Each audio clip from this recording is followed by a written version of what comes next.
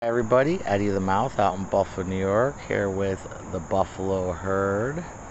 Uh, we got Miss Barbie over there, Lucy, and the two fawns, the one with no spots and the one who still has spots. Uh, the one who has spots still is a little shy, not as brave as the other one who we're kind of been calling like Braveheart, but I don't know if uh, it's a boy or a girl yet, so I don't want to commit to a name till I know. Uh, what's up, little one? We got Miss Barbie over there and Lucy. What's up, guys? Just hanging out doing some grazing with the grazers. We just walk around and eat stuff off the ground. This fawn's looking a little curious. Hi. What's up? What's up, you? You blend right into those white flowers.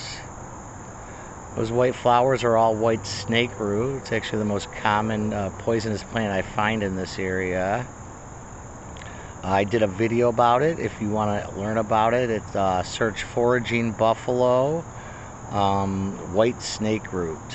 And uh, I did a video about white snake root. It was pretty much a pandemic in the United States back in the day. Before they figured out it was that plant that was killing killing everybody because uh, the poisons pass through the meat or milk if eaten by a cow. Like if, if a cow eats it and you drink the milk you're going to get poisoned.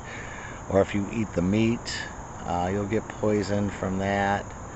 Um, so I did a video about it if you want to check that out on one of my foraging videos uh, I haven't done that many this this this summer, not as many as I wanted to due to my injury, my back injury. I've been pretty much restricted uh, to the backyard for recording mostly.